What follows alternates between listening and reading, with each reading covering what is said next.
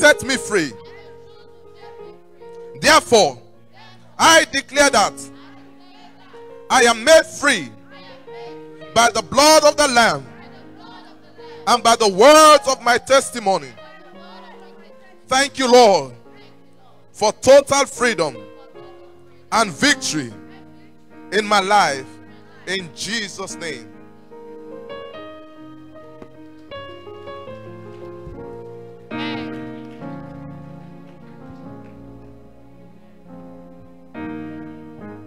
Jesus. Lift your hands this morning and just give God praise. Hallelujah. Thank Him. Bless His holy name. Thank you, Father. Open your mouth. Say something wonderful to the Lord this morning. Say something wonderful to the Lord this morning. Say something wonderful to the Lord this morning. Give Him praise and glory. Thank you, Jesus. Hallelujah. Bless the Lord, oh my soul. Oh, my soul, I worship your holy name. Sing like never before. Oh, my soul, I worship your holy name. Bless the Lord, bless the Lord, oh, my soul. My soul, I worship your holy name. Oh, sing like never before. Oh, oh, my soul, and I worship your holy name. Bless the Lord, bless oh my soul. Oh, my soul, I worship your holy name. Sing like never. Sing like never before. Oh, Oh, my soul, I worship your holy name. Three more times, bless the Lord.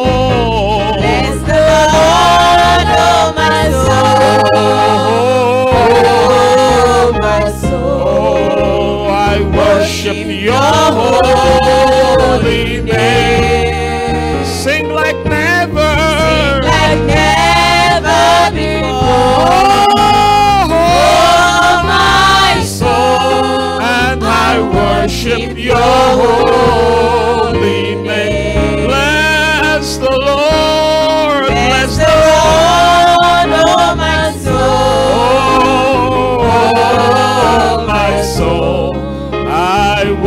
worship your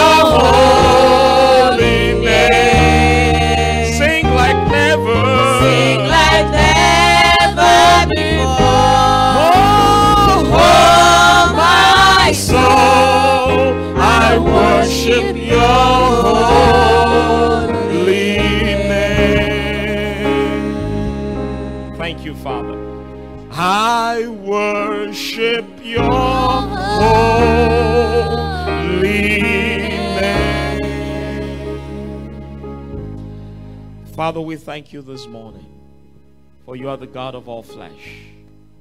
We give you praise. We thank you. We thank you. Wonderful Spirit of the living God. We welcome you in our midst today. We appreciate you. Blessed be your holy name. Thank you, Lord, for the impact of your Spirit in our midst. We give you praise and glory. Thank you, Father God, for everyone that is watching online. We appreciate you because your word is coming and is going to stir their world. Thank you, Father, for sending your word this morning. And your word brings healing to us. Father, we are not counting on the eloquence of man's wisdom, on the power of oratory, but we are depending upon you, Holy Spirit. Thank you for the breaker anointing that is in your word. Thank you, Father God. We give you glory and praise. Wherever you are this morning, can you open your mouth If you can pray in tongues and speak in the spirit, I want you to open your mouth. Pray in the Holy Ghost this morning.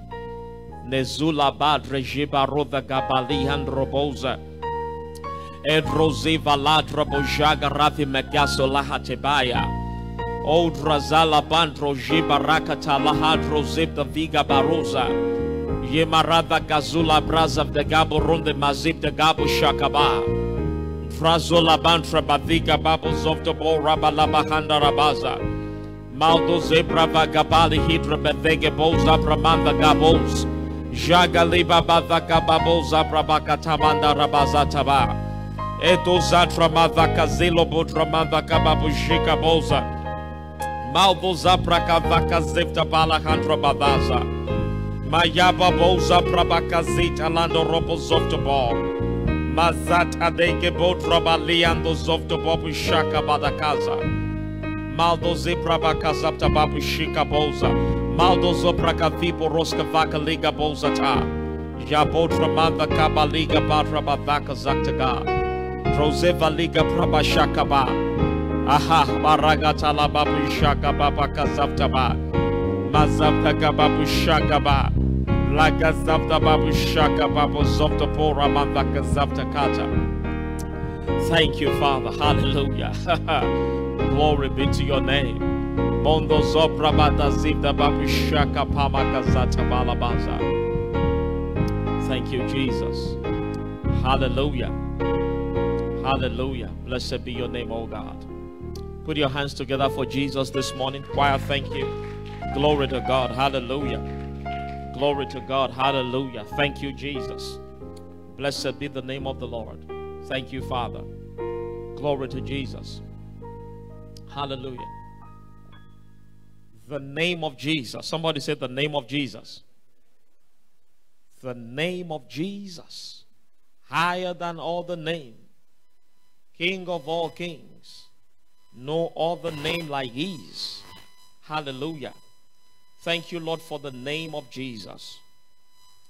God has given you that name as your portion, as your inheritance, as your possession.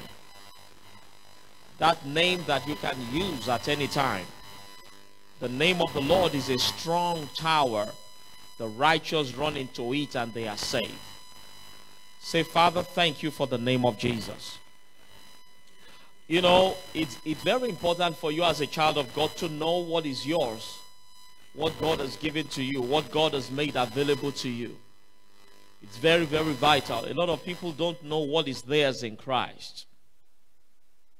You see, you must know your inheritance as a child of God, what belongs to you. The name of Jesus has been given to you as a child of God. And also, healing has been given to you. Healing has been made available to you in Christ. So, this morning, you need to know how to take possession of your healing. If something has been given to you, you must know how to take a hold of it. Jesus said, Come to me, all ye that labor and are heavy laden, I'll give you rest. He said, Take my yoke upon you and learn of me. He said, Learn of me. So Christianity involves a lot of learning, learning, learning. We keep learning, we keep learning. It's very important. Because, you know, the more you learn, the more you know. And the more you know, the more you enjoy freedom. You shall know the truth, and the truth shall make you free. So, discoveries will lead to recoveries. When you discover, you recover.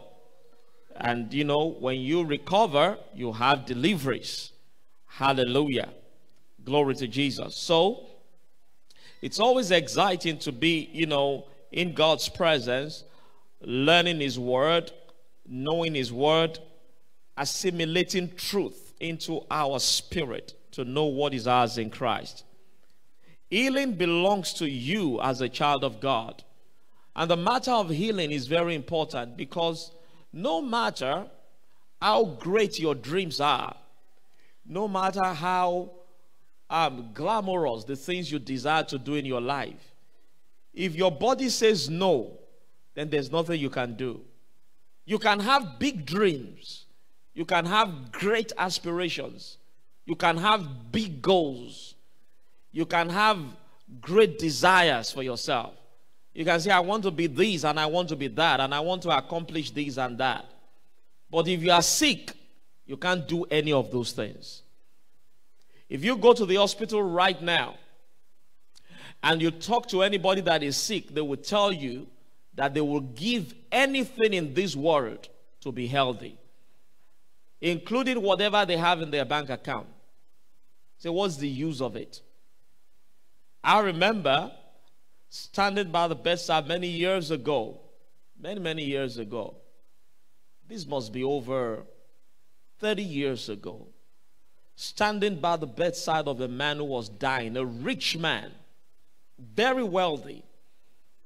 And his wife was there, and I was there. And the wife said, Money, you are a disgrace. Money, you are a disgrace. So, with all the money that we have, what has it come to? It has not helped out. You never appreciate something until you lose it. We need to value our health. You are a three legged stool.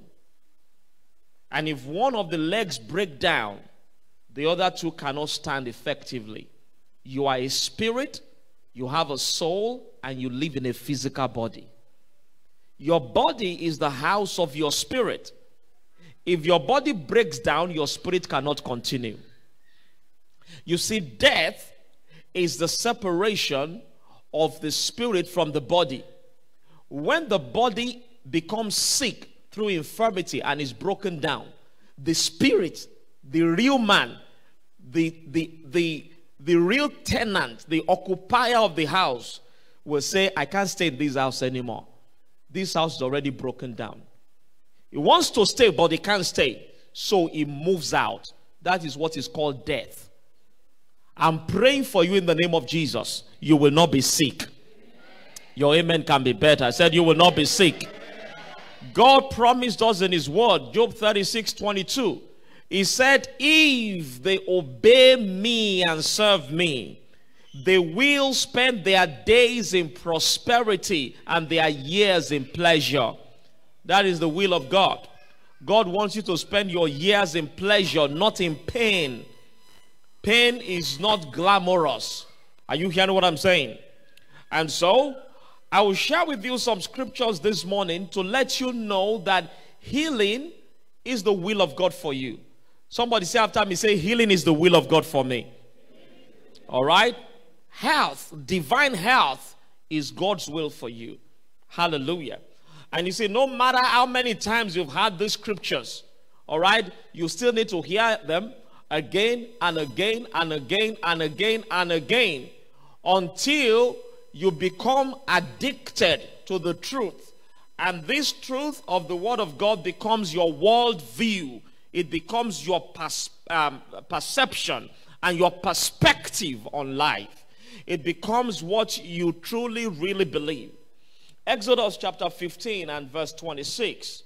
Exodus chapter 15, verse 26. The Bible said, If thou wilt hearken diligently to the voice of the Lord your God, and will do what is right in his sight, and will give ear to his commandments, and keep his statutes, I will put none of these diseases upon you which I have brought upon the Egyptians, for I am the Lord that healeth thee. I am the Lord that healeth thee. Somebody say, He is the Lord that healeth me. Psalms 107, verse 20. He sent His word and healed them and rescued them from their destructions. Proverbs chapter 4, verse 20 to 22. My son, attend to my words, incline thine ear unto my sayings. Let them not depart from your eyes, keep them in the midst of your heart for they are life unto those that find them, and health to all their flesh. That word health there means medicine. The word of God is medicine to your flesh, medicine to your body. Hallelujah. Glory to Jesus. And then Jeremiah chapter 30, verse 17. Jeremiah 30, 17. God promised in His word, He said, For I will restore health unto thee, and I will heal thee of thy wounds. God is a healer. He's a healer. He said, I'll restore health to you. He said, I'll heal you of your wounds, said the Lord, because they called thee an outcast, saying, This is Zion, whom no man seeks after. Glory to Jesus. Malachi chapter 4, verse 2. Malachi chapter 4, verse 2. He said, But unto you that fear my name shall the Sun of Righteousness arise with healing in his wings, and you shall go forth and grow up as calves of the stall. And I love this one in Matthew chapter 8, verse 14 to 17. Matthew chapter 8, verse 14 to 17. And when Jesus was come into Peter's house, he saw his wife's mother laid and sick of a fever. And he touched her hand, and the fever left her. You know, there was a time when fever used to kill people. You see, these days we don't think much of that. You know, you have fever, you just take some coins. But back in the days, fever used to kill people. And in the days of Jesus, they categorized fever into two lesser fever and greater fever. And so Peter's mother in law was taken by a great fever. When you read these in the book of Luke, Luke being a doctor, all right, put it in the right perspective. She said she was taken with a great fever. But Jesus came to the rescue. The Bible said he touched her hand and the fever left her. The Bible said, and she arose and ministered unto them. Oh, what a healing Jesus! He's the healing Jesus. The Bible said, when the evening was come, they brought unto him many that were possessed with devils. And he cast out the spirits with his word and healed all that were sick. He healed all that were sick. I want you to take note of that in your Bible. He healed all, not some, all that were sick. You see, Jesus is the multi specialist. There is no sickness or infirmity that is beyond his ability. There is no sickness or infirmity that is beyond his specialty. Today, if you go to see a GP, he will refer you to a specialist if it's beyond him. But this physician does not make referrals. He is the final bus stop for every infirmity and for every affliction. Now, the Bible said he healed all that were sick. And in verse 17, Matthew chapter 8, verse 17, the Bible said that it might be fulfilled, which was spoken by Isaiah the prophet, saying, Himself took our infirmities and bear our sicknesses. Himself, Himself now, that is something I'm going to be emphasizing in the course of this message. Himself took our infirmities. Himself. You see, when man fell in the Garden of Eden, the immediate fallout um, or consequence of man's fall was sickness. Sickness is the foul offspring of sin. Are you hearing what I'm saying? And sickness is an enemy. Oh, you need to see what sickness is doing today. You know, I, I, I, wrote something in the, um, in the bulletin. Sickness is an enemy. Jesus is the healer. And uh, according to statistics, they said one out of two people will die of heart attack. One out of three people will get cancer. One out of two people will get an autoimmune disease. Three out of four people will get a degenerative disease. And heart disease is the number one killer of women. And the statistics go on and on. Satan has turned this world into an arena of pain and discomfort. And, you know, you need to know as a child of God how to take advantage of God's healing medicines for you. Thank God that Jesus said, I have come to give you everything in abundance, more than you expect, life in its fullness until it overflows. How many of you can make bold to say in the Lord that till the day you finish your assignment on earth, you will not be sick? How many of you can say amen to that? Amen. Glory to Jesus. Can you say out loud, say in the name of Jesus, until I finish my assignment on earth and I'm face to face with Jesus, I will not be sick. You see, sometimes you say that, you know, um, there are diseases or sicknesses that come with old age. They say, you know, when you age, you have to be sick.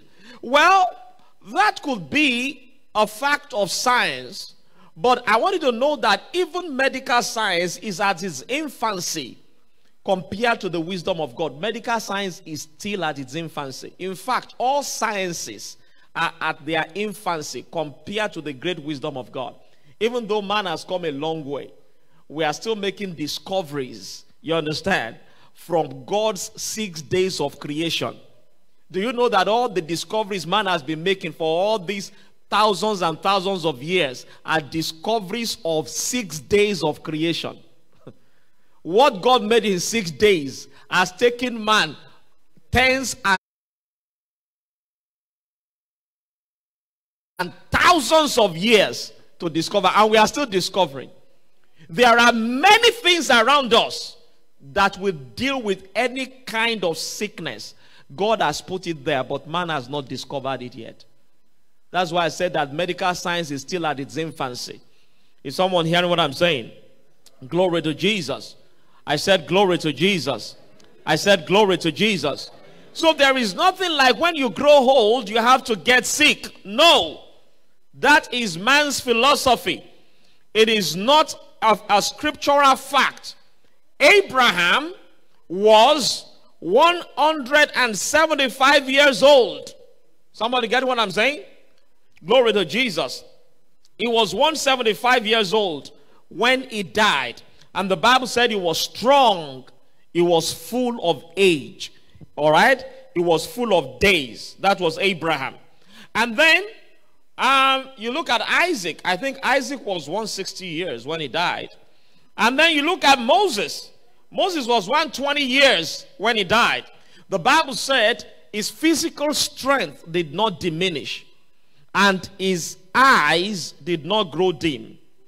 Even in these contemporary times, you have people who are growing, aging gracefully without sickness or disease. Is somebody hearing what I'm saying? Very important. Glory to Jesus. Hallelujah. I think out of the three patriarchs, only Jacob died sick. And even him, died, when you know he died, he died sick, and um, you know when he when he was face to face with Pharaoh, Pharaoh looked at him and said, "How old are you exactly?" And then you know he went into a lot of story. Well, don't let us get into Jacob's case today. But you see, I'm trying to let you know that it's a myth to say that you have to be sick as you get old. Many of those things that you feel, and so they are telling you, is because you are getting old. You have to reject it. You have to be aggressive and violent against sickness. Sickness is an enemy. Somebody say, I hate sickness with a passion. Come on, talk to me. Say, I hate sickness with a passion. So, Himself took our infirmities and bear our sicknesses. He took them away. Glory to Jesus. And First Peter chapter 2 verse 24. First Peter chapter 2 verse 24 says, Who his own self bear our sins in his own body, that we being dead to sins should live unto righteousness, by whose stripes you were healed. James chapter 5. James chapter 5 verse 14 to 15. I'm giving you many scriptures about healing. So you read them you meditate on them, you know them. It's very, very important. What you put into your spirit man will determine how healthy your body becomes. James 5 14 to 15 is any sick among you, let him call for the elders of the church and let them pray over him, anointing him with oil in the name of the Lord. And the prayer of faith shall save the sick, and the Lord shall raise him up. The Lord shall raise him up. The Lord shall raise him up. The Lord shall raise him up. The Lord shall raise him up. I like that. The Lord shall raise him up because the Lord doesn't want him to be down on the bed of sickness. The Lord doesn't want him to be tied down. Sickness is a thief. Sickness is a robber. Sickness is an enemy. The Lord shall raise him up. The Lord shall raise him up. God is not in the business of putting people down. He's in the business of raising them up. He's not in the business of making people sick. He's in the business of raising them up. The Lord shall raise him up. The Lord shall raise him up. And if he have committed sins, they shall be forgiven him. Hallelujah. Glory to God. 3 John verse 2, Beloved, I wish above all things that thou mayest prosper and be in health, even as thy soul prospers. I wish above all things, eh, above everything else, that you may prosper and be in health, and be in health, even as your soul prospers. Is only somebody that is in health that can do good things in life. It's only someone that is in health that can get a degree. It's only somebody that is in health that can run a business. It's only somebody that is in health that can get married. Is somebody hearing what I'm saying? Glory to Jesus. Now, faith is the master key to receiving healing from God. Faith, everybody say after me, say faith is the master key to receive your healing from God. Say that again. Say faith is your master key is my master key to receive healing from God. Mark chapter 9, verse 23. Mark chapter 9 and verse 23. The word of God says, If you can believe, all things are possible to him that believeth. If you can believe, if you can believe, all things are possible to him that believeth. Hallelujah. Glory to Jesus. Faith is the master key to receiving healing from God. What exactly does God want you to believe? When we say believe, believe, believe, have faith, have faith. Have faith in what? All right? Have faith in who? Of course, we know have faith in Jesus Christ. But as per what? Have faith that He took your infirmity and bear your sickness. That is the faith that God wants you to have. Somebody say with me, say, Christ took my infirmity and he bare my sickness. Isaiah 53, verse 4. Isaiah 53, verse 4. God wants you to have faith that Christ took your infirmity and he bare your sickness on the cross. Isaiah 53, verse 4. The Bible tells us, I want you to get that in your Bible and look at it. Look at the word. Look at the word. Very important. Look at the word. Look at the word. It says, Surely he hath borne our griefs. Surely he hath, he hath, past tense, he hath, he hath. This has already taken place. Borne our griefs and carried our sorrows. So it's not on the board. You need to look in your Bibles. Surely he hath, talking about Jesus, borne our griefs. The word borne there means to take away or to carry away. Surely he hath borne our griefs and carried our sorrows. Yet we did esteem him stricken, smitten of God, and afflicted. Hallelujah. Verse 5 said, But he was wounded for our transgressions, he was bruised for our iniquities. The chastisement of our peace was upon him, and with his stripes we are healed. You see that? Surely he hath borne our griefs now, the word grieve there means sickness. Literally, that's what it means. It means sickness. Now, surely means certainly, indeed, of a fact, he hath borne our griefs. He hath borne our griefs. You see, Jesus has borne your griefs. He said, and carried our sorrows. You understand? He carried your sorrows. He bore your griefs. And he carried your sorrows. He said, Yet we did esteem him stricken, spitting of God, and afflicted. But he was wounded for our transgressions, he was bruised for our iniquities. The chastisement of our peace was upon him.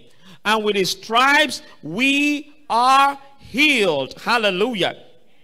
Glory to Jesus. Somebody say after me, say, Surely. Say, Surely.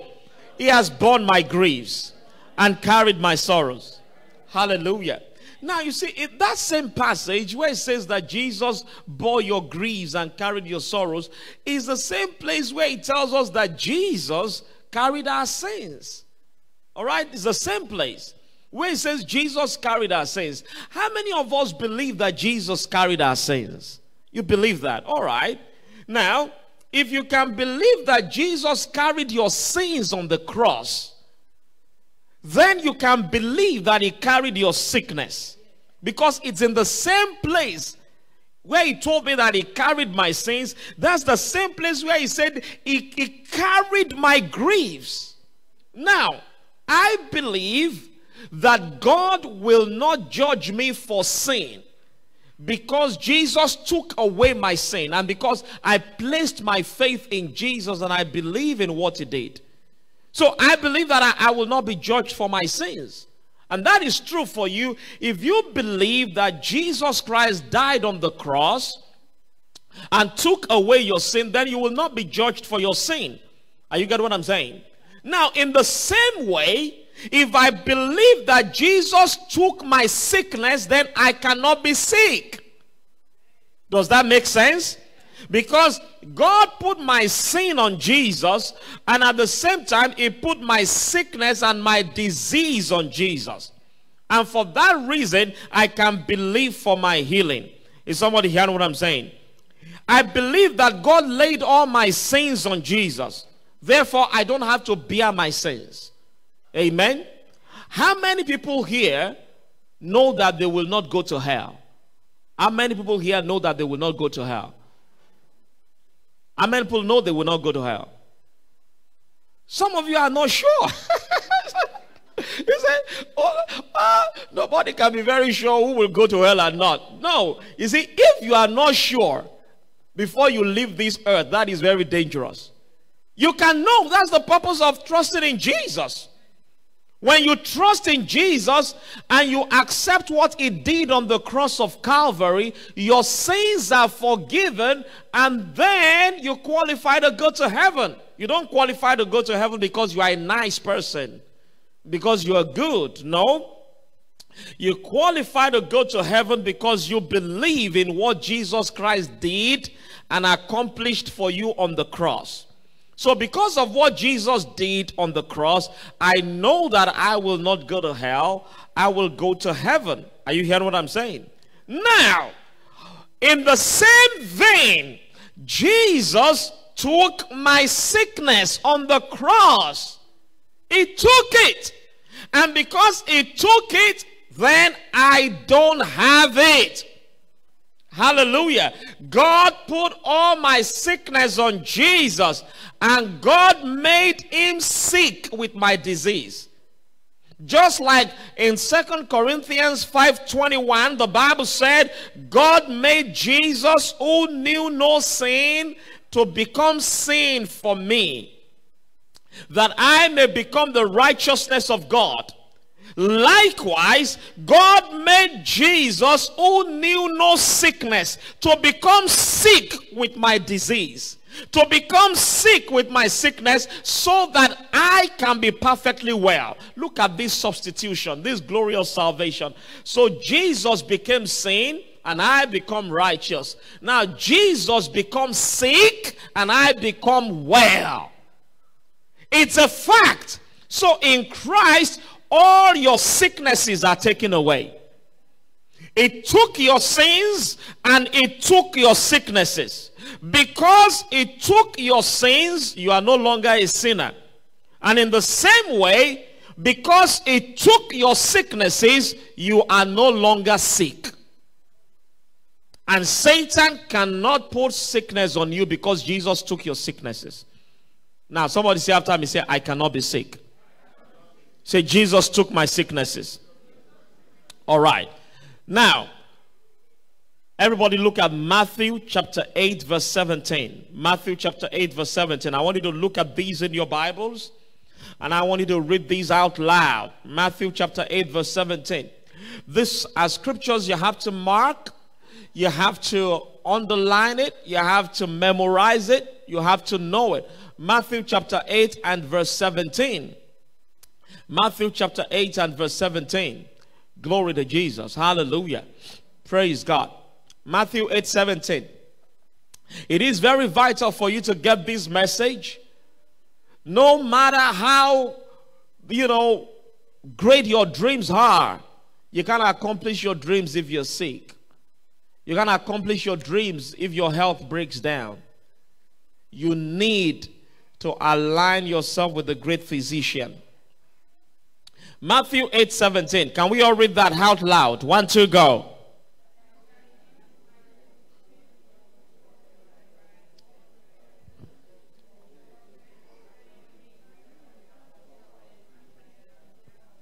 Matthew 8 17. Let's read it together. One, two, go.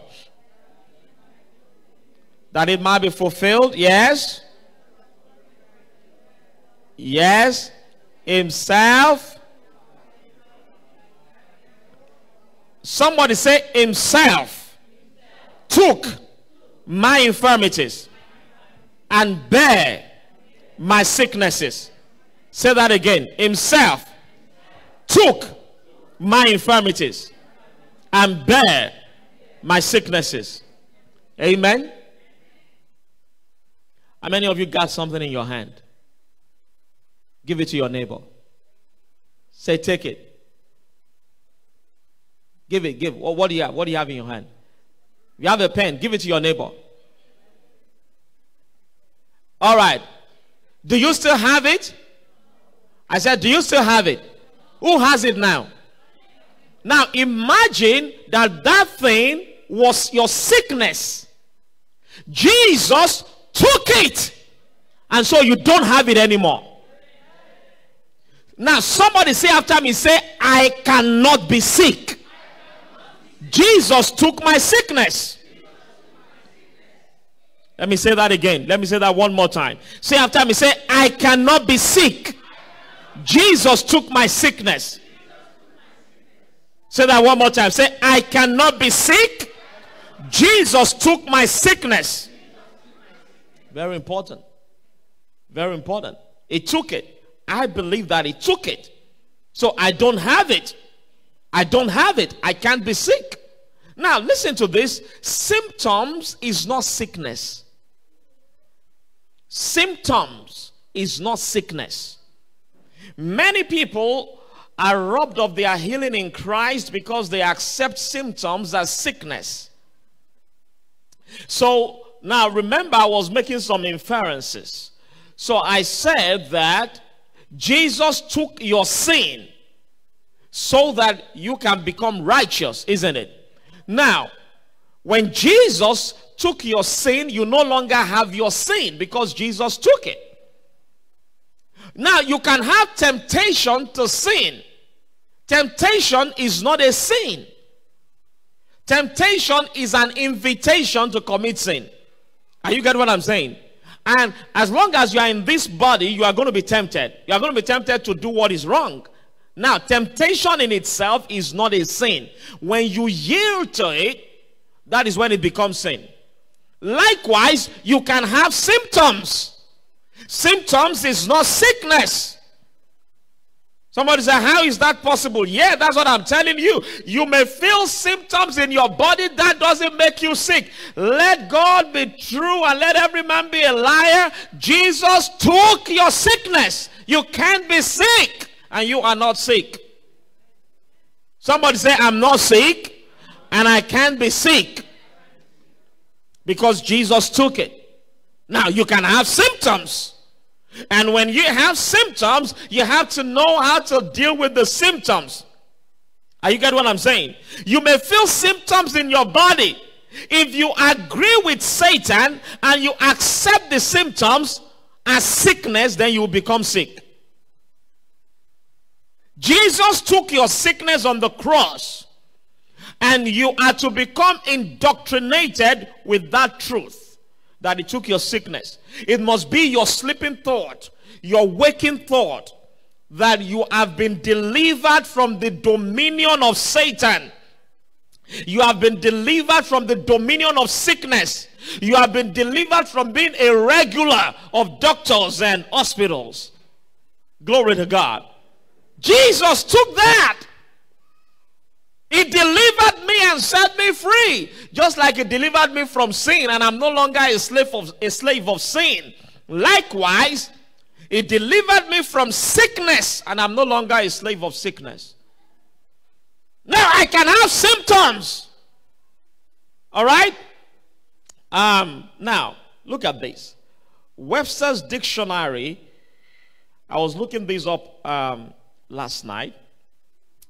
Um, you know, Web- Webster's dictionary define a symptom as a subjective evidence of disease of physical disturbance. A subjective evidence. Something you feel in your body is subjective. A subjective evidence. You can't you you can't capitalize on it and say you're sick because of that. Tell the devil I can't be sick. Jesus took my sickness. You see, if you can believe that you cannot be a sinner because Jesus took your sin, you should be able to believe that you cannot be sick because he took your sickness. You know, some Christians still go about and say, you know, all of us are sinners, we are all sinners. Then why did Jesus die? If you still go about with that kind of thinking, he died to deliver you from sin from being a slave of sin.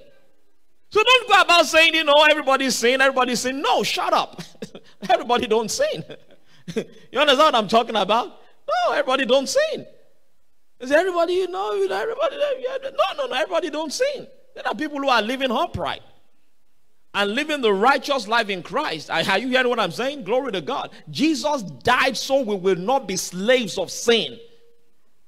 In the same vein, Jesus died so we will not be slaves of sickness. Is somebody hearing what I'm saying? So, what do you do when you feel symptoms? There are three things you do when you feel symptoms in your body. The first thing you do is research. You research. And in other words, you ask questions. Where did the symptoms come from? Where are these symptoms coming from? Did I open a door to Satan? Is it coming because I opened a door to Satan? Did I open a door to devourers? For instance, God promised that He will rebuke the devourer for your sake. You see, in Malachi chapter 3. So, did I open a door to devourers? Is that why I have the symptoms? Did I fail to obey Proverbs 4:23? Now I needed to move very fast here because I want to give you a number of scriptures. Now, Proverbs 4:23 says, "Guard your heart with all diligence." Is that what it says? Proverbs 4, is it 4:18 or 4:23? Let me check 4:18 first. Okay, 4 it should be 4:23. 4:23. Guard your heart with all diligence, for out of it are the issues of life. So, you want to find out did I do I have the symptoms because I failed to guard my heart? You see, the Bible says you guard your heart. Very important. Glory to God. You guard your heart. Now, did I give a place to Satan? Ephesians 4:27 says, "Neither give place to the devil." Did I give a place to the devil? How did the symptoms come? Did I fail to give myself to the cleanser? John 15, verse 3. The Bible says, the word of God is a cleanser. He said, You are clean by the word that I spoke to you. See, the word of God is a cleanser. As you receive God's word, it cleanses and purges you. God's word is a detoxifier. So, if you fail to give yourself to that on a daily basis, sickness can attack your body, symptoms can come. That's why every day, as a child of God, you must be in the word. Even if it's 15 minutes, read the scriptures. Sometimes read them out loud, it does something to you. Then another thing is this how did the symptoms come? Did I get myself away from under spiritual covering?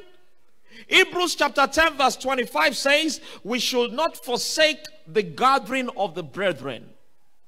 Why? Because you see, the church is a covering.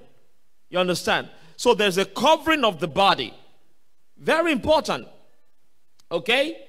Another thing is this where did the symptoms come from? Did I dishonor my parents? Because Ephesians chapter, chapter 6, verse 2 to 3 tells us, He said, Honor your father and your mother that it may be well with you and that your days may be long. So sometimes a person's days can be shortened if they fail to honor their father and their mother. Very important. A person can fall sick for that. Because God said the law. And as a matter of fact, the Bible said that is the first law with a promise. Honor your father and your mother, that it may be well with you and that your days may be prolonged. Where did the symptoms come from? That's the first thing you want to do research. Where are the symptoms coming from? Did I violate my body? Did I violate my body? You know, I, I shared a story in the first service about um, about a man um, that was um, given a very a powerful uh, gift and you know ministry by God, but he he you know he um, he was reckless with his body. You understand? Overworked. You understand? Will work so hard, sleep so little. You know, drove the body to the extreme. And when he became sick, very sick, he had to go somewhere um, you know, on a retreat. And this, you know, had a very little heart by the riverside. And as he lived there, 25 year old boy, you know, he was about 25, but he was very gifted. I mean, within the short time that God called him, he, he accomplished a lot in China before communism, and this was in the 1930s. You know, he accomplished a lot. And then he said to himself, he said, God, is this my hand? Am I going to die like this? I've not even started my ministry. And as he began to reflect, something came to him. He said to himself, He said, God gave me a horse and He gave me a message, but I killed the horse before I could deliver the message. That's talking about his body. It was reckless. You understand? You know, I can give you examples and examples like that of that. Sometimes, you know, symptoms can come because you violate your body. You understand? Either you eat too much or you eat too little. Either you sleep too much or you sleep too little. You see, either extreme is bad. Are you getting what I'm saying? Very important. Did was I reckless and indisciplined with my diet? Where are the symptoms coming from? Are you getting what I'm saying? There are some things that as a child of God, you should get off your diet completely. Get it off. Throw it out. You shouldn't even move near it at all. It's not good. Apart from the fact that it doesn't have health benefits, it has no food value. It has no food value. Did I fail to forgive someone? Because unforgiveness will open the door to symptoms in your body. Am I holding a grudge in my heart? You have to check. Research. That's what it means. Where are the symptoms coming from? Did the, the symptoms start after a dream that I had? Where do the symptoms come from? Sometimes, you know, sicknesses and symptoms can come after a dream, after a dream attack. Shall if you have a dream where in the dream somebody was feeding you food, or somebody was having, you know, was violating you sexually, those things can create sicknesses and symptoms in the body. Is the sickness generational or inherited? Did I allow fear Fear is a big door opener for symptoms. Another one is this Did I dishonor the body of Christ? You see, the body of Christ, the church, all right, is really the body of Christ. And if you dishonor the body of Christ, it can open the door for sickness. First Corinthians chapter 11, verse 30. Paul the apostle was talking to the Corinthians, and he said to them, This insensitivity in the way you treat the church or you treat the body of Christ is why many are weak, chronically ill, and some even dying. That's how he puts it in, in the Passion Translation. You can read that. First Corinthians 11:30. He said, Many of you are weak. A lot of people in the church were weak. He said, chronically heal. And some are even dying. Why? Because they were insensitive to the body of Christ. You see, you need to be very careful as a child of God what you say about the church. You know, sometimes people just open their mouth and they just talk about the church. They just talk anyhow. You have to be you have to be careful because you see you are you are damaging someone's body and the person you are dealing with is going to react. It's going to react. The church is not just a gathering of people, the church is the body of Christ. If you dishonor the body of Christ, your home body may be damaged. That's one of the reasons why people are sick, why symptoms come. Then another reason why are the symptoms here? Did I commit sin? You know, John chapter 5, verse 14. There was a man that was sick for 38 years. And after Jesus healed him, Jesus met him, you know, in John 5 14. And Jesus said to him, Wow, you are okay now. Everything is good. He said, But be careful. Make sure you don't go back to sin so that something worse will not happen to you. You see, so sin is a big door opener. Now, no wonder I'm talking about what can bring symptoms on you as a child of God. Jesus took the sickness, He took it, and it's real that He took it. But symptoms can come, and you have to research why the symptoms are here. James chapter 5, verse 14 to 16. You may want to write this down. The Bible said, Confess your faults, your slips, your misdeeds to one another. James chapter 5, verse 14. He said, Confess your faults to one another, especially in verse 16. Verse 16 said, Confess your faults to one another and pray for one another that you may be healed. The effectual fervent prayer of a righteous man availeth much. There are some sins that you have to confess to somebody else, not just to God. Don't say, Oh, I confess it to God. No, you may not be healed.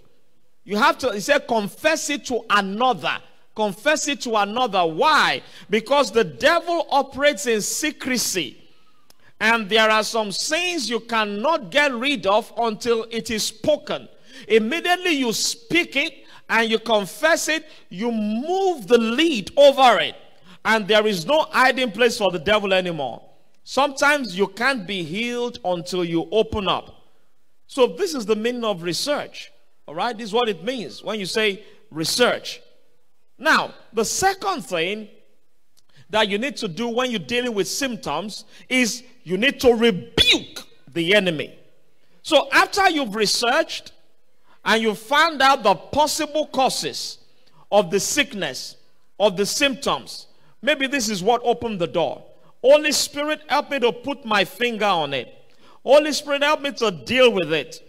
You see, a child of God should not be sick just as a child of God should not be bound with sin. If you find a child of God that is bound with sin and is always confessing sin every time, today he said, God forgive me because I stole. Uh, tomorrow, God forgive, forgive me, I, I, I fornicated. Uh, God forgive me, I told a lie. Then what's wrong with that child of God? What's wrong with him? Something is wrong. In the same way that a child of God should not be committing sin, a child of God should not be sick. Sickness is an enemy. It doesn't glorify God. We should not be sick. Hallelujah. Glory to God. All right? So, Jesus dealt with the sickness, He took it away. And so, you want to find out why do I have the symptoms? After you've allowed God to help you to put your hand on what is responsible, then the next thing is you face the enemy and you rebuke him. You rebuke him. I don't know how many Christians really understand James 4 7. I don't know how many Christians really understand James 4 7. James 4 7 says, in the Passion Translation, so then surrender to God, stand up to the devil, and resist him, and he will run away from you. Let me read that again. So then, surrender to God, stand up to the devil, and resist him, and he will turn and run away from you. Wow. Let me read that one more time. So then, surrender to God. Everybody say after me, say surrender to God. Stand up to the devil and resist him, and he will turn and run away from you. Surrender to God. Stand up to the devil. Stand up to the devil. Stand up to the devil. Resist him. Resist him. And he will turn and he will run away from you. Resist the devil means oppose him, withstand him, set yourself against him. That's what it means to resist. Set yourself, stand against the devil, set yourself against him. You must see the symptoms as an enemy. Don't see symptoms as friend. Don't say, oh, you know, my flu has come again. My migraine has come again. My arthritis has come again. As long as you are calling it yours, it will not go. See symptoms as an enemy. See sickness as an enemy. There is nothing glamorous about sickness. There are many people who love their chains. There are many people who love the sickness. They love it. Some people actually like the sympathy they get from sickness. Oh, sorry. Oh, where, where, where, where is it paining you now? Is your leg? Oh, sorry. Oh, sorry. Oh, oh, sorry, sorry, sorry, sorry. And then they'll pick up their phone. Didn't you hear that I was sick? Eh? They didn't tell you. They didn't tell you you was. You didn't see it on Facebook, and you did not even send me a card. Eh? You didn't come to greet me. Didn't you hear that I was sick? Don't be a gentleman with sickness. Curse it in the name of Jesus. Somebody say after me, say, I curse every sickness in the name of Jesus. Let me tell you, any situation you don't contend against has a right to remain. Curse it. Curse it. Stand against it in the name of Jesus. Set yourself against the symptoms. Set yourself against it. Don't be a gentleman. Don't be gentle with sickness. Don't be gentle with infirmity. Don't be gentle with it. Set yourself against it in the name of the Lord. Is somebody hearing what I'm saying? Very, very important. Glory to Jesus. Hallelujah. And then the third thing that you have to do restore. Restore. Restore means, now remember, the first thing you have to do is what? Research. The second thing you have to do is what? And then the third thing you have to do is restore. Restore means you want to bring your body back to where it ought to be. And I'm telling you, that is something you can do by the grace of God. You can bring your body back to where it ought to be. Sickness is an enemy. Sickness is an enemy. Sickness is an enemy. You know, we wrote something here that there are a range of sicknesses that cause death. A range of them that cause death. And death is an enemy, according to 1 Corinthians 15 26. So, restore means you try to bring your body back to where it ought to be. So, how do you restore? You can restore through diet. You understand what I'm talking about? Through diet. Watch what you're eating. Someone said that one quarter of what you eat enriches your body, while the remaining three quarters enriches your doctor. Did you get the trick? You didn't get the joke. One quarter of what you eat helps your body. The remaining three quarters that make you sick help your doctor, it makes your doctor rich. Do you know every time you visit a doctor, is getting richer? Eh? When you go to the GP, does do they make you sign something? Eh? Oh, you don't know your doctor is getting rich. Those of you like the GP, I, I, I'm coming. I, am at my GP. I, I, I, went to see my, my GP. My, my, as if your GP is the Holy Spirit.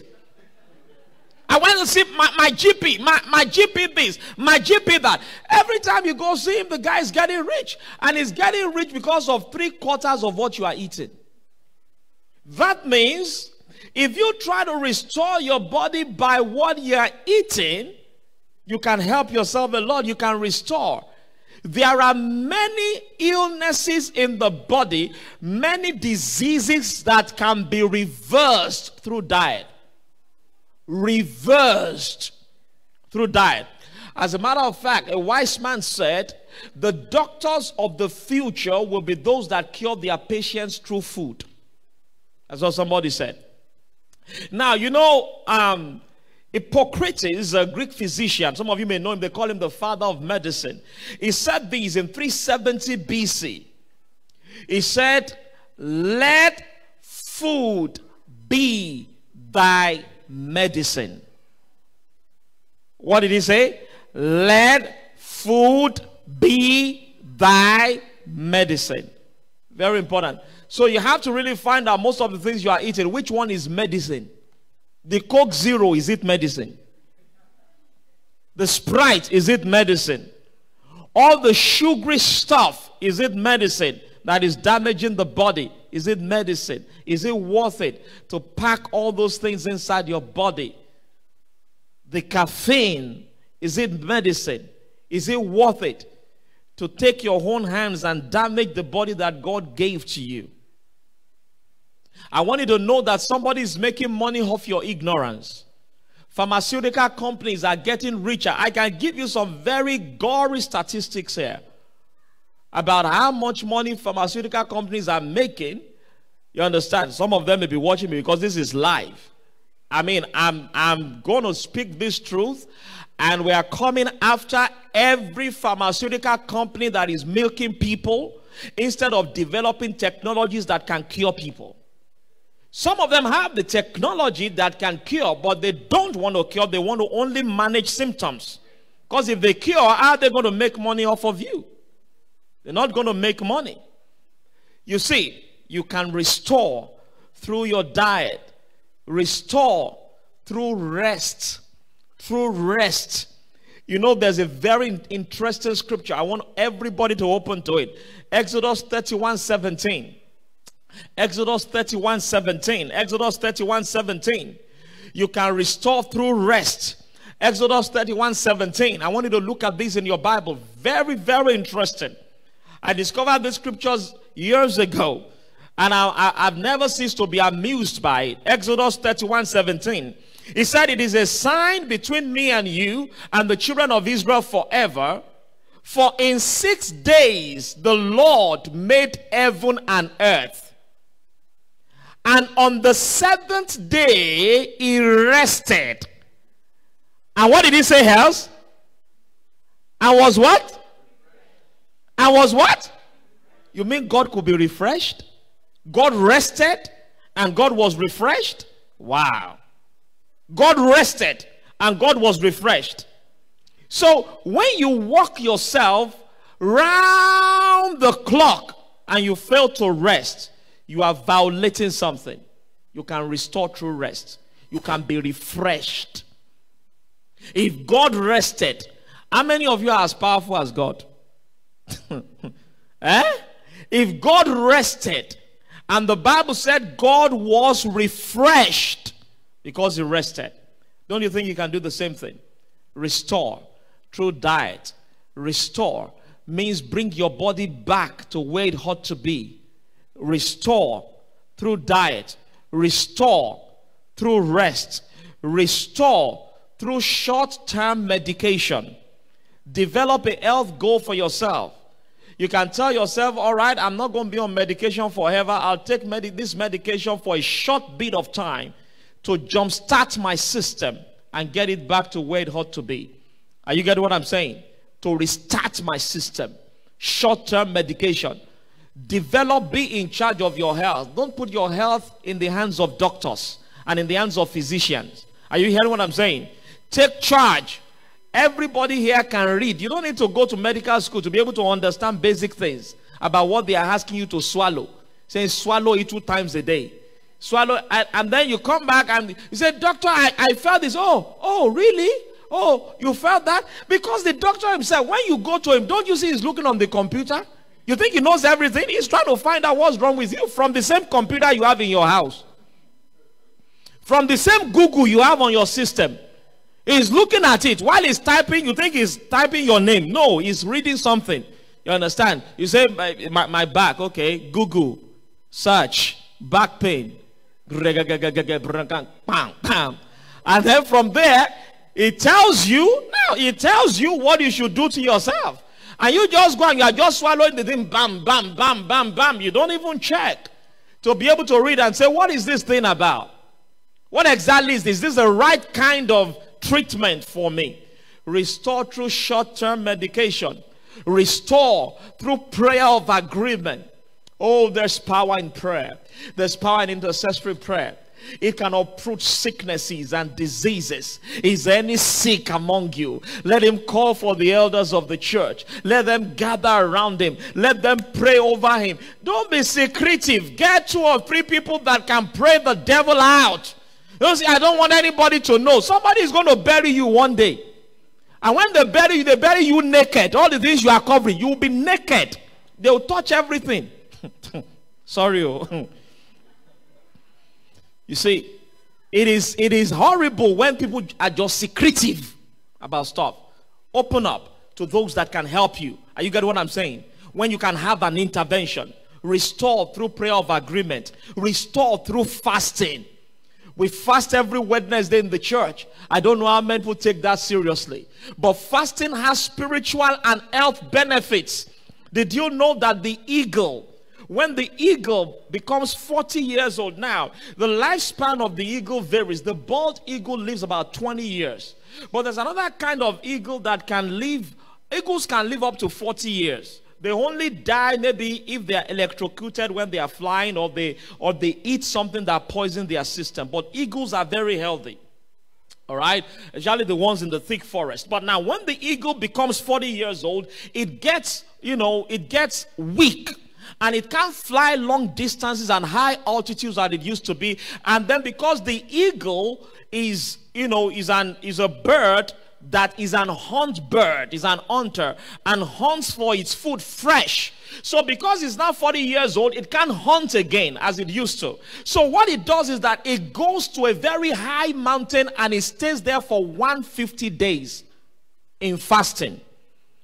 What it does is that it removes all its beak, it knocks off the beak, and then it plucks out the talons, the feathers, plucks it out, and it becomes bare, and it regrows new beak and talons in 150 days, and you have a new eagle ready to go. That's where Isaiah 40 31 comes from. They that wait upon the Lord in fasting shall renew their strength. They will mount up with wings like eagles. They will run and not be weary. They will walk and not faint. Are you hearing what I'm saying? That's one of the ways to restore. Let me tell you something. I have seen things happen in my body just by a three day fast. A three day fast of water only. Water only, three days. I'm telling you, will do stuff inside your physical body. So fasting is a very powerful health tool. And please, when you fast and you are trying to break your fast, don't go and sit down with all those big bowls of cassava leaf and all these big food and sit down and then pollute the system again. And when you do fast, make sure you drink a lot of water. It purges your system. It's not a sin when you drink water as you fast.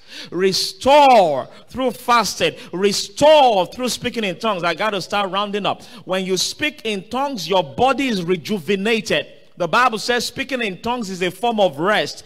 Restore through patience. Through patience. In other words, give your body time to repair.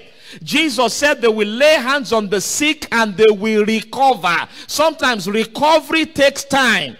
Don't be impatient. Don't say, I, I, I prayed. I didn't say anything. No, give your body time to recover. Restore through laying on of hands. Restore through communion. When you take communion, as if a doctor prescribed it, it does something to your body. Because the communion actually is a prescription of the great physician. Restore through communion. Then, finally, restore by calling on the great physician. He is the manufacturer of your body. He created the body. God has given you a wonderful body, a great body. Your body is great. Oh, I wish I had time to tell you about your body. How many millions of nerves are inside your body, how many miles of blood vessels, how much water you have inside your body, how great and how beautiful the body God has given to you. It's so wonderful. But many times it is the least cared for. We sweep our houses, and you see how many of you are cleaning your house and mopping and cleaning, but many times we don't take care of this body. Many times we don't clean the body. Many times we don't watch the things that can cause the body to break down. A lot of times we don't pay attention. You wash your clothes, but have you ever cared about what goes on inside your physical body? Let me tell you something. You can have great dreams. You can have big goals for yourself. If you are sick, that is the end of your goals. Have you not seen people on the hospital bed? They say, Oh, I wish I can get out of here. I wish I can have another chance. I wish I can have another chance. If you are trifling with your health, just go to the hospital. Just go to the hospital. Just watch people. And then you see that you, you learn how to take your health more seriously and more importantly. You can call on the great physician. You remember what he said? He said in Jeremiah 17, uh, Jeremiah 17, 14, Jeremiah cried out to him. He said, Heal me, O Lord, and I shall be healed. Save me, and I shall be saved, for thou art my praise. If you call upon him, he can heal you. He can heal you right now. Remember, your GP did not make your body, he made it. The great physician made it, he created it. Psalm 6, verse 2, the psalmist said, Have mercy upon me, O Lord, for I am weak. O Lord, heal me, for my bones are vexed. Second Chronicles chapter 16, verse 12. The Bible talks about a king, King Asa. In the 39th year of his reign, the Bible said he was diseased in his feet. He was sick in his feet, and his disease was very great. Yet, in his disease, he did not seek the Lord, but he sought to the physicians. And unfortunately, he died. If you seek the great physician, you can be healed. Blind Bartimaeus cried. He said, Lord, that I may see. I want to see. I want, I want to see. In other words, said, Great physician, these eyes you gave me are no longer working. Make it work. Make, is there something that's no longer working in your body? The great physician can make it work. Say, will you fix it? These kidneys you gave me are no longer functioning. Can you replace them? Oh, great physician. And look at what he said in Jeremiah 32, verse 27. He said, Behold, I am the Lord, the God of all flesh. Is there anything too hard for me? There's nothing too hard for the great physician. I want you to believe him. I want you to trust him. Trust your health to his hands. And believe that another day you will never be sick again. I've shown you what to do if you have symptoms in your body. You deal with it by research, by rebuke, and by restoring. Glory to Jesus. Rise on your feet. Glory to Jesus. This is all we have time for today. Rise on your feet as we pray together. Hallelujah. Blessed be the name of Jesus. Glory to God. Glory to God. Glory to God. Hallelujah. Thank you, Father. Thank you, Father. Thank you, Father. Hallelujah. There is power mighty in the blood. There is power mighty in the blood. There is power mighty in the blood of Jesus Christ. There is power mighty in the blood. Lift your two hands to heaven. I want you to pray with me right now. Glory to Jesus. If you notice that there's any area of your life where, you know, you open the door to symptoms, as we as we share the word of God today, I wanted to pray about it. I wanted to say, Lord, in the name of Jesus, I saw that in this area, I opened the door. I opened the door. I opened the door. Forgive me in the name of Jesus Christ and restore me. Can you open your mouth and pray like that? Can you open your mouth and pray like that? Ask God to forgive you any area of your life where you open the door to the symptoms in the name of Jesus Christ. Can you open your mouth right now? Open your mouth and pray. Open your mouth and pray right now in the name of Jesus Christ. Any area of your life where you open the door Any area of your life where you open the door, open your mouth right now and pray. Open your mouth, open your mouth, open your mouth, open your mouth, open your mouth and pray. Open your mouth and pray. Open your mouth and pray. Re baba baba baba zatama. Mandro jabalando zabalando zabalando jabarando zibramada. Open your mouth and pray. Open your mouth and pray. Open your mouth and pray. Father, have mercy upon me in the name of Jesus Christ. Father, forgive me in the name of Jesus Christ. Any area of my life where I open the door to symptoms in my body, Father, forgive me in the name of Jesus. Any area where I violated my body, where I misused my body, where I was reckless, uh, where I opened the door to fear in the name of Jesus Christ. Father, forgive me in the name of Jesus. Father, forgive me in the name of Jesus. Thank you, Father God. Father, thank you. In Jesus' mighty name we pray. I want to encourage you as you leave this place, continue to research and research and research. Now, I want you to pray right now. Look at someone. Look at someone and tell them, say, Do you know I cannot be sick? Because Jesus took my sickness. Please go and tell somebody else, say, Do you know I cannot be sick? Jesus took my sickness. Tell someone else, say, do you, do you know, are you aware that I cannot be sick? Say, I cannot be sick. Say, it's impossible. Look at someone, look at someone. Look at someone highball to highball and tell them, say, listen, I cannot be sick. Tell them, say, I cannot be sick.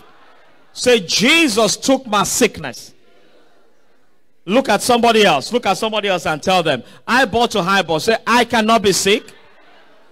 Say, Jesus took my sickness. Look at someone else and tell them, say, I cannot be sick. Jesus took my sickness on the cross of Calvary. Say, He took it, so I don't have it. Does that make sense? Can you believe God's word? Let me ask you this question. How many of you know the last name? How many of you have a GP? Okay. How many of you know the last name of your GP? Okay, good.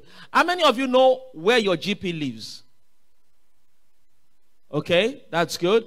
How many of you have ever seen the certificate from medical school of your GP?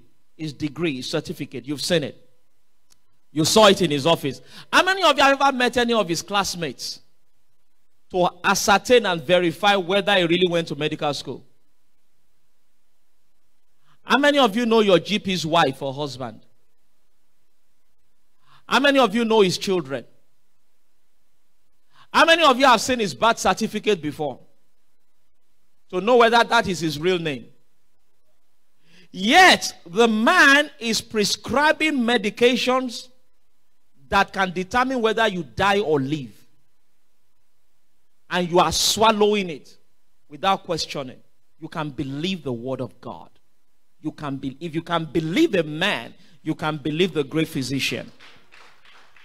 Amen. I said, Amen. The great physician said, I took your infirmities. Listen, I'm telling you what I live by. I don't, my wife knows. Sometimes I can be groaning in pain and be groaning. And she said, What's wrong with you? And I'm saying, Oh, this pain. But I'll be saying at the same time, I cannot be sick. I cannot be sick. I cannot be sick. I cannot, I keep declaring, I don't care what, I cannot be sick. I love to do that. I cannot be sick. I refuse to be sick. I would, I would wake up with pain and I'll tell the devil, devil, you know I can't be sick. You know, right? I said, devil, you know you are just wasting your time. I can't be sick. I can't be sick. I refuse to be sick because the Bible said it took my infirmities. And I believe he took it. When the Bible said he took it, I believe he took it. Do you believe he took it? Ask somebody beside you, do you believe he took it? Then you don't have it. Okay, you don't have it. Now, you, are, you will deal with symptoms right now. Lift your right hand to heaven. Say, every symptom in my body. Say, I rebuke you in the name of Jesus. Say, I resist you in the name of Jesus. Open your mouth and pray for the next 45 seconds. Let me hear you praying. Come on. Let me hear you praying. The next 45 seconds, open your mouth. Every symptom in my body, I rebuke you now in the name of Jesus Christ. Yabalagazata balabababu shagaba. Ragabalaba, open your mouth. Every symptom in my body, I rebuke you now in the name of Jesus. I rebuke you. I rebuke you. I rebuke you. I rebuke you. I rebuke you. Every symptom, every symptom in my body, I rebuke you in the name of Jesus. Manda Mandarabagazata labababu jakabaza. Mazata lima bababu zabda babu shikaba.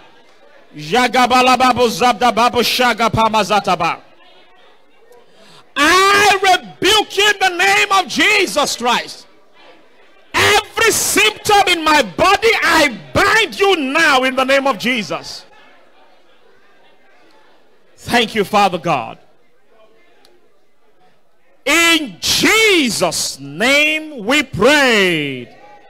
Somebody say amen.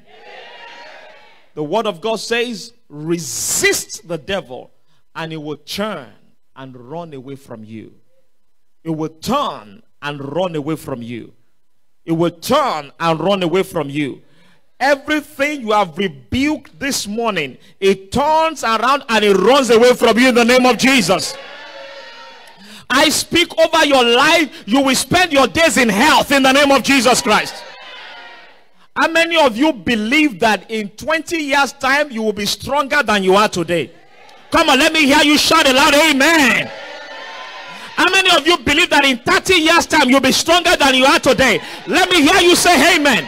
Someone say, I refuse to be sick. Say it again. Say, I refuse to be sick. Say, devil, you cannot put sickness on me. Because Jesus took it from me. In the name of Jesus. Stretch your hands this way and let me pray for you. Father, I thank you because you are the Lord that heals us. I'm praying right now for your healing virtue to flow over everyone that is standing here today. That they will be healed from the top of their head to the soles of their feet in the name of Jesus Christ. Let me ask you to pray in one minute. Everybody pray with me. Say, Oh, great physician, heal my body now. You are the maker of this body. You are the manufacturer of this body. Heal my body now. In the name of Jesus. Open your mouth. Call upon the great physician. Call upon him. He's the great physician. He's the great physician. He's the great physician. Call upon him now in the name of Jesus. Mandarabaka Zataba. Jamalanda Bakazabda Paba Shagaba. Oh, great physician. Oh, great physician. Zalobon Rabakazataba. I call upon you in the name of Jesus. Thank you, Lord. Thank you, Lord. Thank you, Lord. In Jesus' mighty name we pray. Hallelujah. How many parents here rejoice when you see when you see your children in pain? How many of you celebrate when you see your children in pain? Your heavenly Father doesn't want you to be in pain. I decree in the name of Jesus. Anyone here that is managing pain, as you say this, believing amen, let that pain disappear in the name of Jesus. I command you, Satan, take your hands off now in the name of Jesus Christ. Father, let recovery begin. Let recovery begin. Let restoration begin. Let restoration begin. Let restoration begin. Let restoration begin. Let restoration begin. Let restoration begin. In the name of Jesus. God gave the woman the uterus so she can conceive. It's not a decoration. Whatever is blocking anyone's uterus here, every blockages, every hormonal imbalances, and those that are watching me online, in the name that is above every name. Great physician, I call upon you now that you will do your work, oh God. You will do your work, oh God. You will do your work, oh God. You will do your work, oh God. Let blockages be removed. Let fibroids melt. Let tumors dematerialize. Every deaf ears be opened. Every blind eyes be opened. I command, let the cripples walk in the mighty name of Jesus. Let arthritis go in the name of Jesus. Every degenerative disease, every autoimmune disease, I command you to go in the name of Jesus. Every mental condition, every mental health issues, every chemical imbalances, I command be resolved in the name of Jesus. Be resolved in the name of Jesus. Lift your two hands to heaven. I want you to scream out loud, great physician. Touch my body now. Oh, great physician. Touch my body now.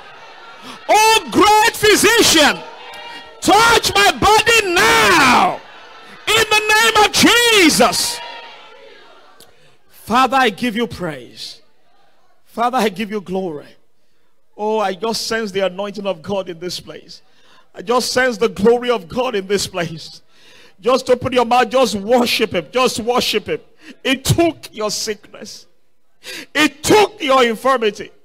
Maybe the devil has even been showing you that you're going to die. And the devil is, is showing you all kinds of scary pictures. Oh, the blood of Jesus wipes it off right now.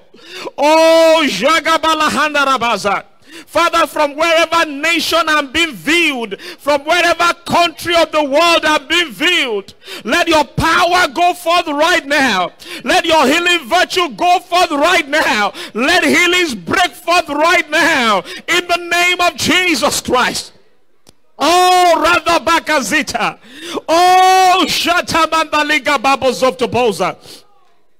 Oh, thank you, Lord Jesus. Blessed be your holy name. Thank you, Father. Thank you, Father. Thank you, Father. Please just give me a, just give me a couple more minutes. Just give me a couple more minutes. I know we're supposed to have stopped now. Just give me a couple more minutes. Let the Lord do his work. Let the Lord do his work. Let the Lord do his work. Oh, let the Lord do his work. Do your work in me. You are my God. Do your work in me. You are my God. Oh, do your work in me. You are my God. Oh, do your work in me. You are my God. Oh, do your work in me. You are my God. Oh, do your work in me. You are mine. Three more times. Oh, do your work in me. You are my God. Oh, do oh, your work in me. You are my great physician. Do your work in me. You are my great physician. Do your work in me. You are my.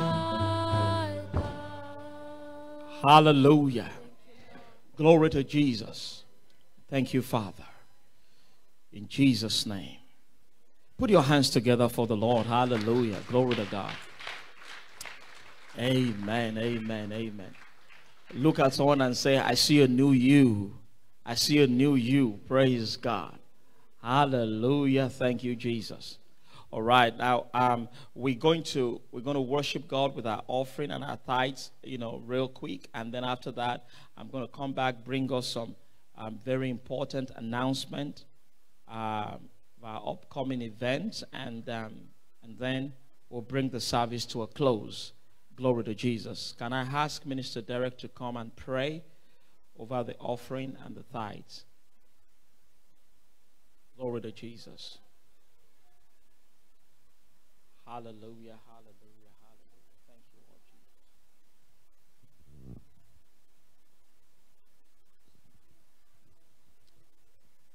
Hallelujah.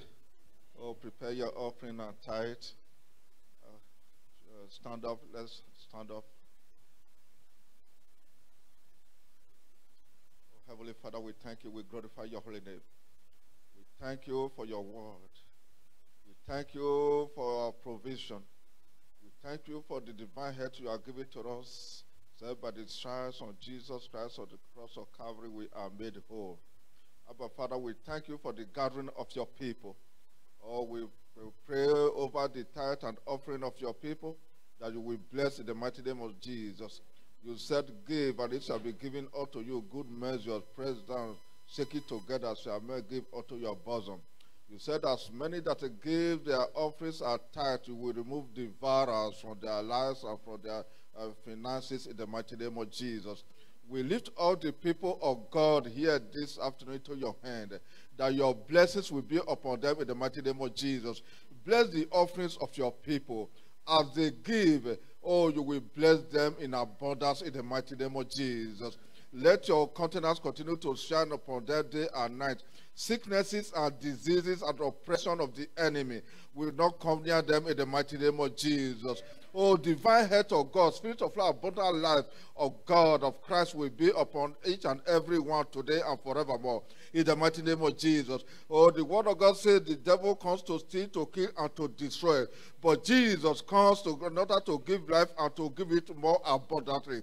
I pray that as many that are giving their tithes and offering today, and even those that are here that are not able to give, you will bless them. You will give them spirit of abundant life in the mighty name of Jesus. Greater provision will provide for your people in the mighty name of Jesus. The joy of the Lord, the peace of God, the restoration of the good things of God will be upon your people. In Jesus Christ's mighty name we pray. Amen.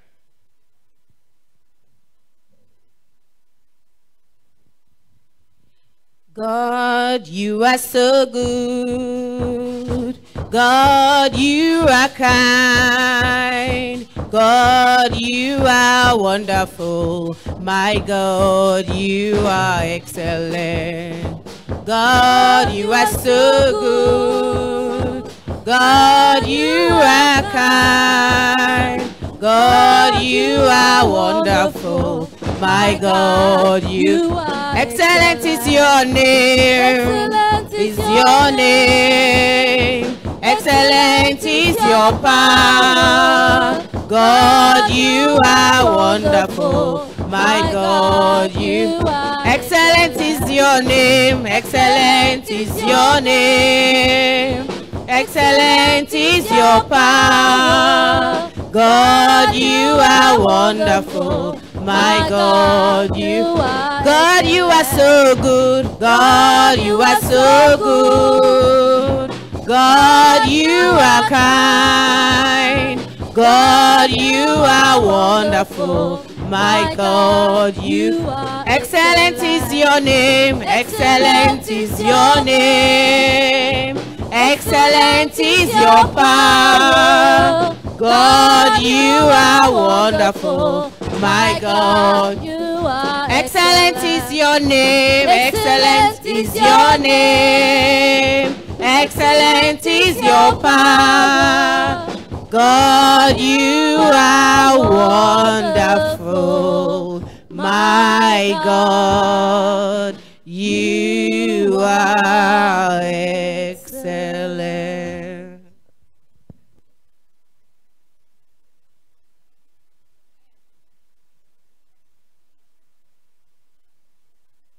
Everyone, and especially all our online audience. We appreciate you. Want to want to um, thank God for your lives and beseech you to to help us to share and share and share this broadcast so more people can benefit from it. Now, July 1 to 7, we are going to have um, a time of fasting and praying.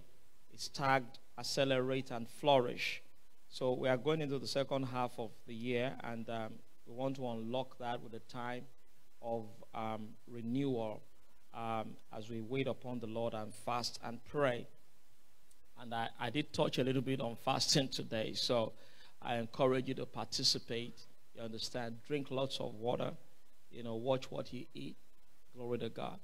Um, so every day, um, 5 p.m. It starts on on July 1st, which is Wednesday, and um, 5 p.m. daily. Um, you know, Wednesday is our regular day of fasting and prayer, so we kick off that day, and then we go every day. You know, 5 p.m. You know, praying, waiting upon God you know, getting God's word and preparing ourselves. A lot has happened in the first half of 2020. Um, unprecedented losses, um, people who lost family members, people lost jobs, people lost money. But, you know, the second half of the year you can recover. Glory to God, isn't it? And you can accelerate. And not only accelerate, you can flourish. Praise God forevermore. Hallelujah. Glory to God. So, make sure you are part of that. Hallelujah. And you'll be blessed for that in Jesus' name.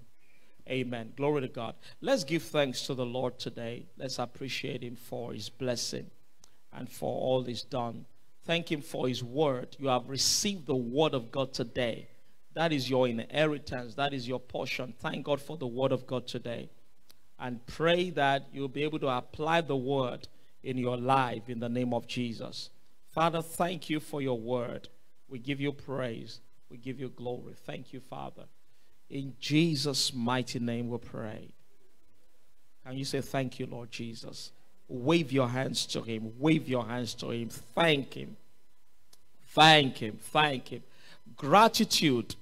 Gratitude will take you very far. Gratitude will take you to new altitudes. Lift your hands. Wave it to him. Thank him appreciate Him. Say, Thank you, Lord. Lord, I'm grateful. Lord, I'm grateful. I'm grateful. I'm grateful that I can lift my hands. I'm grateful that I'm alive. I'm grateful that I can speak. I'm grateful that I can stand. I'm grateful, oh God. I'm grateful for the good health that you give to me. I'm grateful for your merciful over my life. Blessed be your holy name. In Jesus' mighty name we pray. Amen. Now say these words after me. Say in the name of Jesus. As I go forth this week, I declare that the lines are falling to me in pleasant places in the name of Jesus Christ. I refuse to participate in evil. I refuse to participate in disaster. It is not my portion. In Jesus' name, amen. Now, we, pray, we pray this morning, this afternoon for Victoria that every surge of the coronavirus new cases be stilled in the name of Jesus Christ. And we secure the borders and perimeters of New South Wales that in the name of Jesus the pandemic will not come here. In the name of Jesus. Thank you, Father. In Jesus' mighty name we pray. Somebody say amen. amen. Glory to God. Hallelujah. Praise God. Well, are you blessed today? Glory to God. Amen. Hallelujah. You can put your hands together for Jesus. Glory to God. Hallelujah. Now let's sing a song before we go. Look at somebody and tell them and say, Be blessed. Be blessed, my brother. Be blessed, my sister. Be blessed, my sister. Be blessed wherever. Be blessed wherever. This life leads you. This life leads you. Let me encourage you. Let me encourage you. Let me speak life to you. Let me speak life to you. You can depend on me. You can depend on me to pray for you. To pray for you. You can depend on God. You can depend on God to see you through. To see you through. Now sing it to somebody else. Be blessed, my brother. Be blessed, my sister. Be blessed, my sister. Be blessed wherever. Be blessed wherever. This life leads you. This life leads you. Let me encourage you. Let me encourage you. Let me speak life to you. Let me speak life to you. You can depend on me. You can depend on me to pray for you. To pray for you. You can depend on God. You can depend on God to see you through. To see you through. Let's share the grace, the grace of our Lord Jesus Christ, the love of God, the fellowship of the Holy Spirit be with you now and forever. Amen. God bless you. See you next week.